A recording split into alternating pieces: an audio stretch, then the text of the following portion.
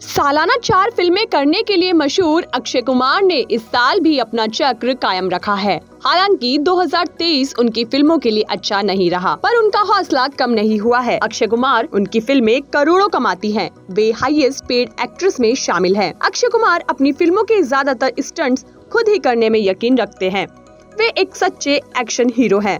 बेहद कम ऐसा होता है जब अक्षय कुमार बॉडी डबल का इस्तेमाल करते हैं अक्षय कुमार की कोशिश रहती है कि वे अपनी फ़िल्मों को दो से तीन महीने में पूरा कर लें। इस वजह से वे एक साल में तीन चार फ़िल्में कर लेते हैं कम लोग जानते हैं कि उन्नीस सौ चौरानवे में अक्षय की एक साल में 11 फ़िल्में रिलीज़ हुई थी। इस साल वो पाँच फ़िल्मों का हिस्सा रहेंगे, जिसमें एक ड्रामा, एक देशभक्ति, दो एक्शन और एक कॉमेडी शामिल है। सुर्राई पोत्रू रिमेक। अक्षय कुमार सबसे पहले नज़र आएँगे 2020 में बनी तमिल फ़िल्म सुर्राई पोत्रू के रिमेक में।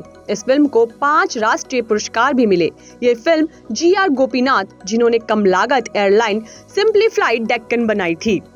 ये फ़िल्म उनकी ज़िंदगी की घटनाओं पर आधारित है। फ़िल्म फरवरी में रिलीज़ होगी। बड़े मियाँ, छोटे मियाँ, इस फ़िल्म में अक्षय कुमार के साथ एक्शन की जुगलबंदी करते दिखेंगे टाइगर श्रॉफ।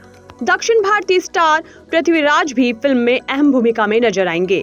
अली अब्बास ज़फ़र द्वारा निर्देशित ये फ़िल्म ईद के अवसर पर रिलीज़ होने वाली थी, पर अभी फ़िल्म की रिलीज़ डेट निर्धारित नहीं हुई है। सिंगम थ्री, रोहित शेट्टी की फ़िल्म सूर्यवंशी से पुलिस यूनिवर्स का हिस्सा बने अक्षय कुमार सिंगम थ्री में अजय देवगन का साथ देते नज़र आएँगे। देशभक्ति फ़िल्मों में अक्सर जुड़ने वाले अक्षय कुमार देशभक्ति फ़िल्म स्काई फोर्स में नज़र आएँगे।